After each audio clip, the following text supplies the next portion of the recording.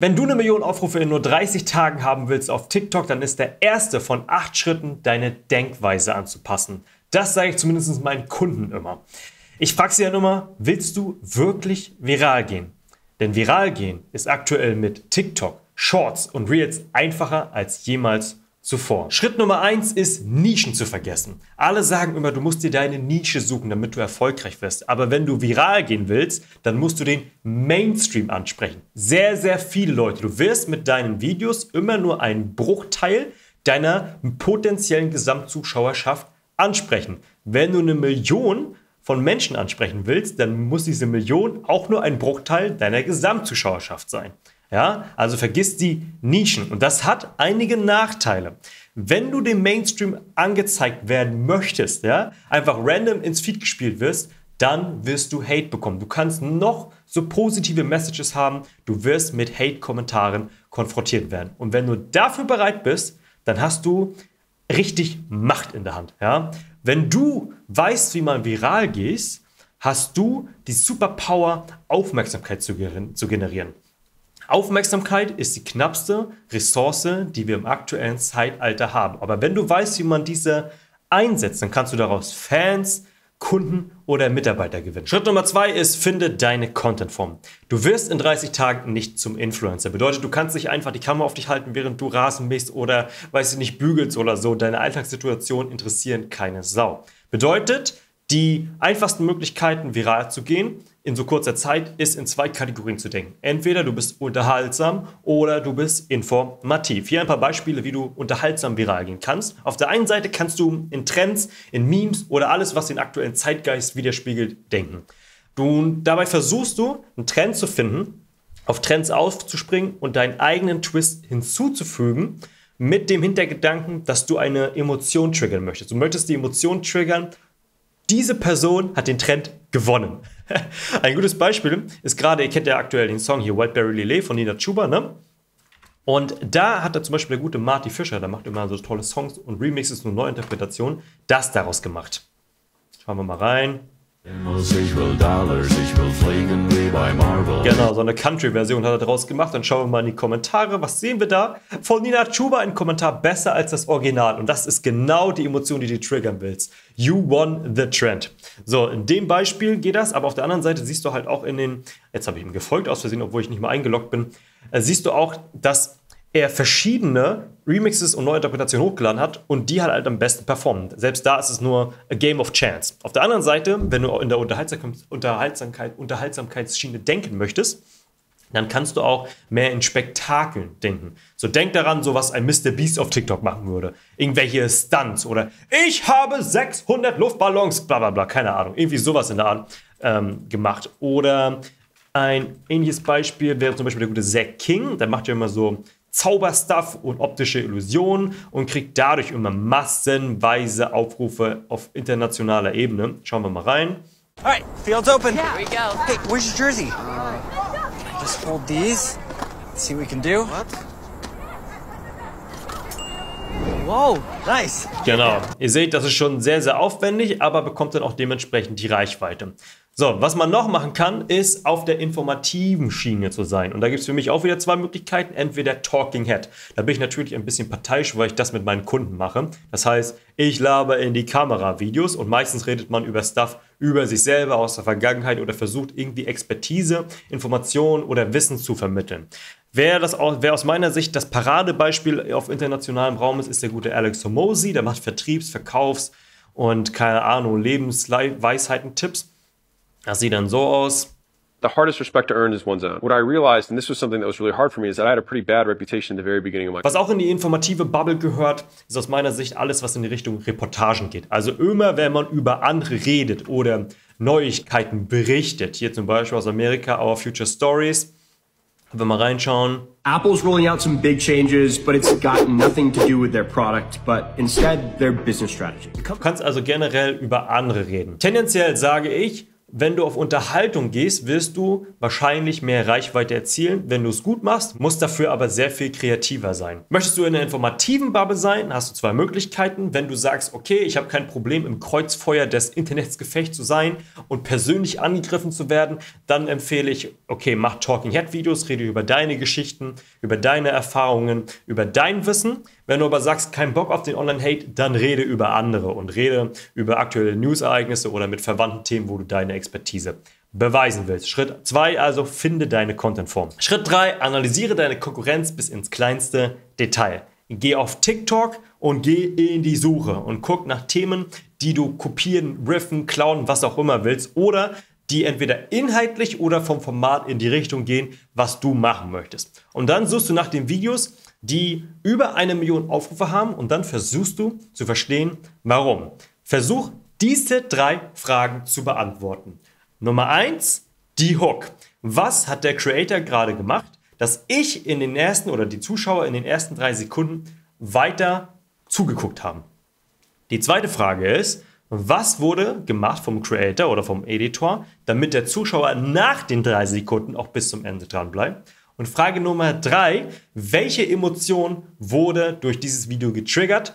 AKA, welcher Tenor ist in den Kommentaren? Also schau in die Kommentare und was ist so die Grundstimmung. Machen wir das mal kurz an einem Beispiel. Ich nehme dafür den guten Alex Hormozy und da schauen wir uns mal ein Video an, was 2,9 Millionen Aufrufe bekommen hat. Here's how I used to game the McDonald's menu to eat cheap and tons of protein. I would go there and add a chicken breast. And if you add a chicken breast to a meal, it's a buck. And so one day I asked her, I was like, can I just have all chicken breasts and not have a meal? And they were like, sure, if you want to. And I was like, how many can I have? They're like, as many as you want. I said, can I have six chicken breasts? And they were like, okay, that's $6. So I got six chicken breasts and I said, how many sauces can I have? They're like, they're free. Have as many as you want. I got honey mustard. I got barbecue. I got ketchup. I got mayo. I mixed all those together and I was able to eat 100, 150 grams of protein in one sitting for under six bucks as a single guy who had no money. Okay, analysieren wir das kurz. Also, Frage Nummer eins. Was brachte den Zuschauer nach den ersten drei Sekunden dran zu bleiben? Das McDonalds-Logo und dass er es gesagt hat. Eine Marke, die wir alle kennen, wo wir uns wiedererkennen. Da haben wir alle eine Meinung zu oder ein Erlebnis dazu. Dann, how I used to game. Man kann auch sagen, how I hacked or how I cheated. Ähm, das hat alles so was Verruchtes, etwas, Verruchtes, etwas Verbotenes. Ja, da alles, was verboten ist, da wollen wir Menschen tendenziell immer erstmal zuhören. So, und dann, how I used to game. So wie ich das gemacht habe. Eine persönliche Story, das gibt es nicht irgendwo anders. Das ist nicht irgendwie so ein Drei-Punkt-Artikel bei Google, den man sich, äh, den man so einfach ergoogeln könnte. Here's how das deutsche so. Das impliziert einen Prozess. Und dann mit einem Ergebnis, mit dem Protein, die für einen, für einen Großteil unserer Gesellschaft ein Ergebnis ist, was sie auch haben wollen. Ja, Proteine, gratis, äh, nicht gratis, aber sehr, sehr billig. Nächste Frage. Was wurde gemacht, damit der Zuschauer bis zum Ende dran bleibt?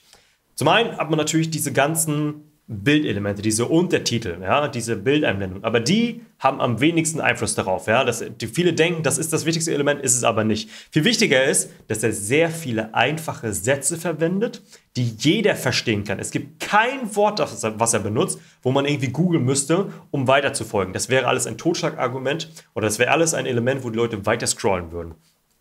Und jeder Satz baut den nächsten weiter auf. Und man will immer wissen, wie geht es jetzt weiter. Und wenn dieser Punkt nicht gerade da ist, wo er zum Beispiel diese Soßen aufzählt, dann versuchen sie das zu hacken mit Bildelementen und versuchen so deine Aufmerksamkeit zu behalten. Letzte Frage, was ist der Grundtenor in den Kommentaren, aka welche Emotion hat das Video getriggert?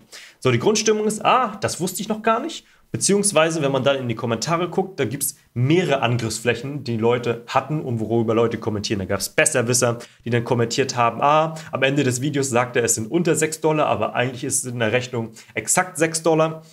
Manche regen sich über McDonalds allgemein auf, manche sagen, das geht jetzt nicht mehr, bla bla bla bla bla. Also es gibt mehrere Angriffsflächen, warum dieses Video viral gegangen ist. So, jetzt schauen wir uns mal an, wie ich die gleichen Elemente für ein Kundenprojekt genommen habe. Das Video hatte bei TikTok 760.000 Aufrufe, bei Reels über 800.000 und bei Shorts geht das gerade los mit 300.000 Aufrufe, aber wird gerade noch mehr. So hackte ich das Lidl-Kassensystem. Als ich bei Lidl gearbeitet habe, wurde sehr penibel darauf geachtet, wie schnell du beim Abkassieren bist. Mindestens 40 Artikel pro Minute. Bist du drunter, gab es erstmal ein ernstes Gespräch mit dem oder der Vorgesetzten. Dieser unnötige Kontrollzwang war für mich völlig normal. Aber heute weiß ich, dass so ein Mist für niemanden gut ist. Diese Grenze von 40 Artikeln pro Minute wurde zum Glück noch während meiner Lidl-Zeit abgeschafft. Kleiner Hack von damals, um die Zeit anzuhalten. Erstmal auf Zwischensumme drücken, den Kunden entspannt rumfahren lassen und dann schnell weiter kassieren. Gehen wir kurz durch. Frage Nummer eins. Was brachte den Zuschauer nach den ersten drei Sekunden dran zu bleiben? Wir haben hier Lidl statt McDonalds. Dann statt How I Used to Game haben wir So hackte ich. Gleiches Element. Ich, etwas Persönliches und so hackte ich. So impliziert einen Prozess mit einem Ergebnis, was man gerne sehen möchte. Was wurde gemacht, damit der Zuschauer bis zum Ende dran bleibt? Natürlich, klar, die Untertitel. Und ihr habt hier schon gesehen, die sind weniger engaging als die im englischen Original, sage ich mal. Und dann ist aber viel wichtiger wie das Storytelling. Wir haben gesagt, so hackte ich das Lidl-Kassensystem. Dann gab es so 20 Sekunden Zeit, wo über irgendwas anderes geredet wurde, was ein bisschen verwandt mit dem Thema ist, aber weshalb die Leute eigentlich eingeschaltet haben, das wird das ganz, ganz, ganz am Ende aufgelöst und dann ist das Video vorbei. Und dann, wenn man in die Kommentare guckt, was ist so der Grundtenor, die Besserwisser haben wir auch wieder am Start. Das ist alles aber kein Hacken. Ähm, und dann regen sich manche auch noch über, über Arbeitgeber, über Arbeit in Deutschland allgemein auf, über Jobs. Und dann gibt es noch Kommentare von anderen Kassierer. Also es gab auch wieder mehrere Angriffsflächen, weshalb Leute kommentieren. Die Kurzfassung ist also, Schau dir deine Konkurrenz an und mach diese Analyse für mindestens 10 Videos und notiere dir alles. Ja? Jede, jedes kleinste Details und ich empfehle, notiere dir auch besonders die Hooks, wenn es Talking Head Videos sind. Wenn du das machst, dann wird dir auffallen, dass es in den Hooks immer, wenn die Videos über eine Million Aufrufe haben, immer über vier Themen geht oder dass man die in vier Kategorien aufteilen kann oder eine Zwischenform. Entweder es geht in irgendeiner Art und Weise um Finanzen oder es geht, steht Geld auf dem Spiel.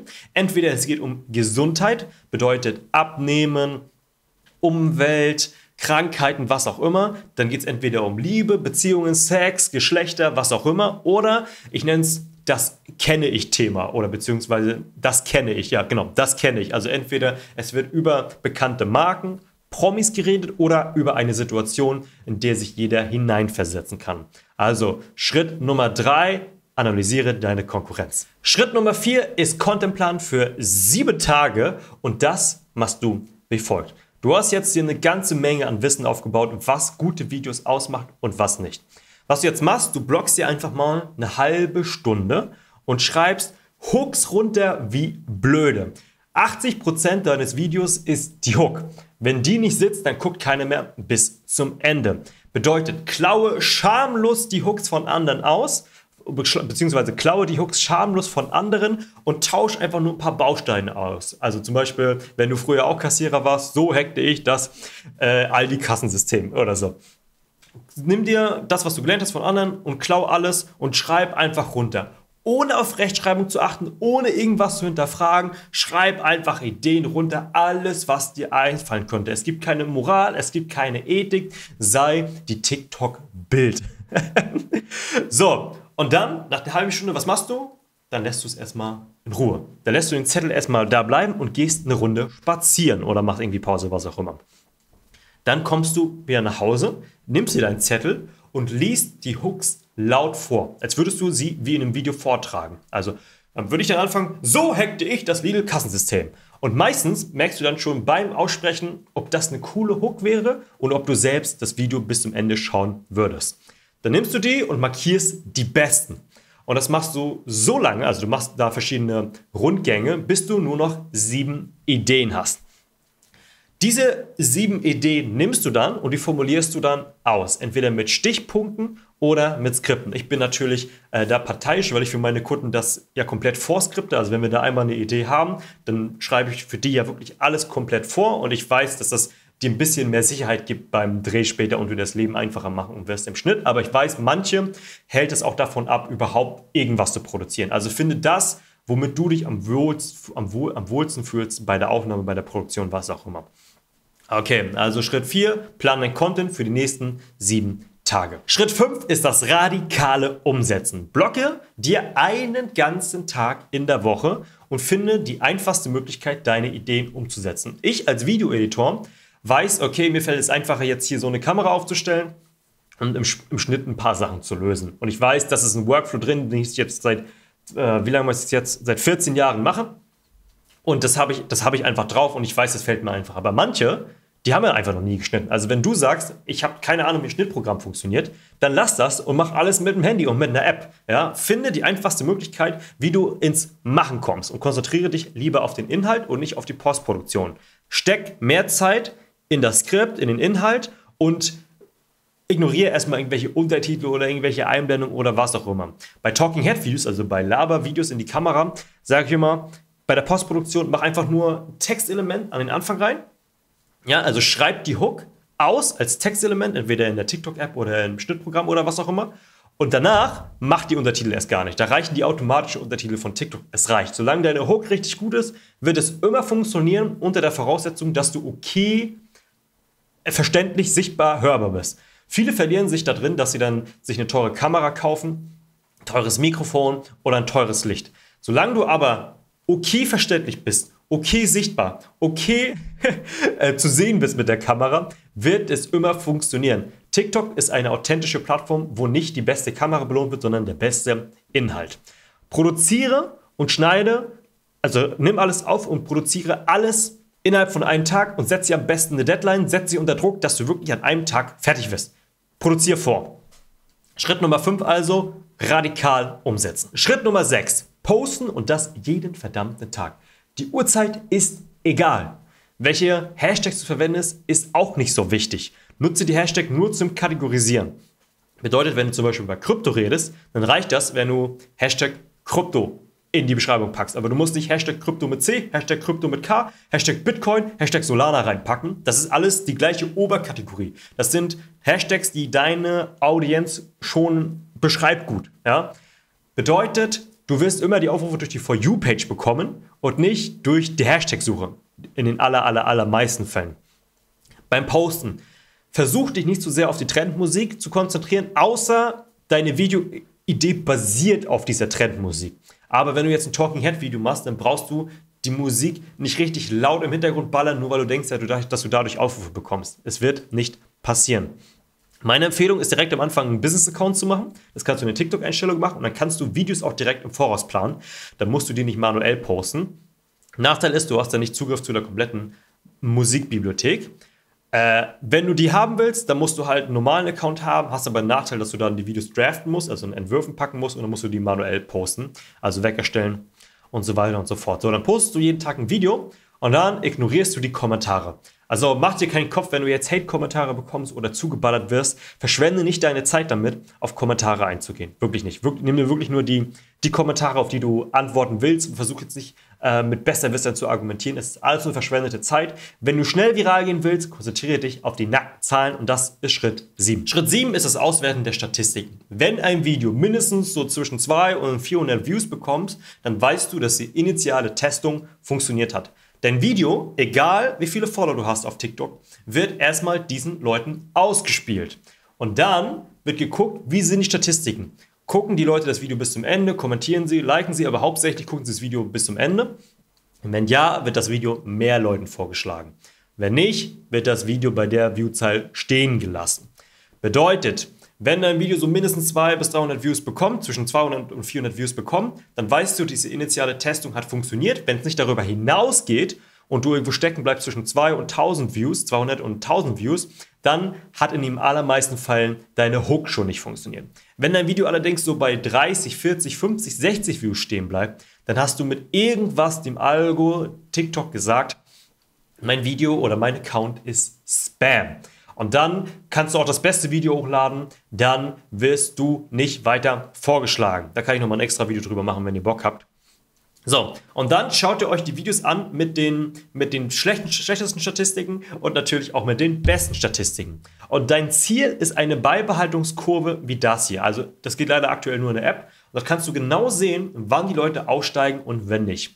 Und bei einem etwas längeren Video, ich sag mal so zwischen 20 und 40 Sekunden, ist dein Ziel, dass du nach drei Sekunden immer noch so über 50 Prozent der Leute dran geblieben sind.